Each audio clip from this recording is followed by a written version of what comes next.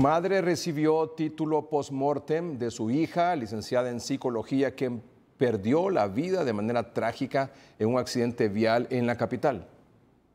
Así lo recibió en las graduaciones de la Universidad Nacional Autónoma de Honduras en Ciudad Universitaria. Que acredita como licenciada en psicología con la obtención de la distinción de cum laude a Scarlett Juberlin Quiroz Hernández.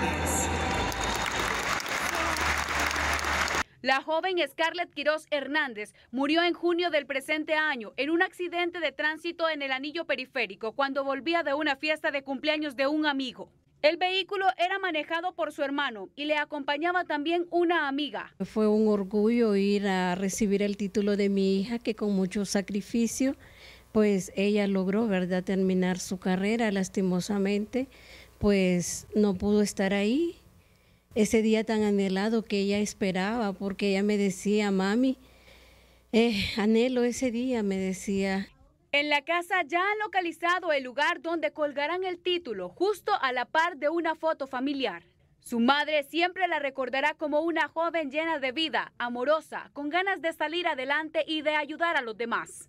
Bueno, eh, mi hija fue un ser muy especial.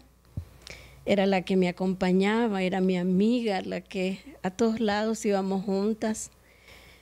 Eh, era mi amiga, mi confidente, todo. Era una buena muchacha. Doña Marlene González envía un mensaje a todos los padres para que apoyen a sus hijos con los estudios, ya que considera que pese a las limitaciones económicas, la educación es la mejor herencia que pueden heredarles.